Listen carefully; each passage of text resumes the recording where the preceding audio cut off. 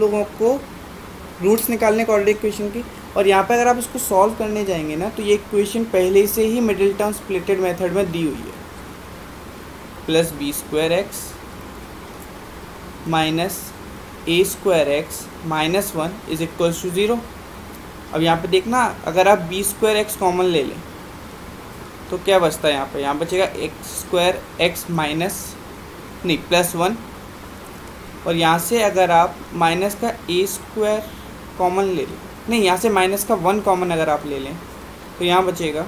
यहाँ पे अगर हम माइनस का वन लिख दूँ मैं साफ़ साफ़ यहाँ पे अगर मैं माइनस का वन कॉमन ले लूँ तो यहाँ भी बचेगा x square x plus one is equal to zero यहाँ से फिर मैं direct x a square x plus one common ले लूँगा दोनों से।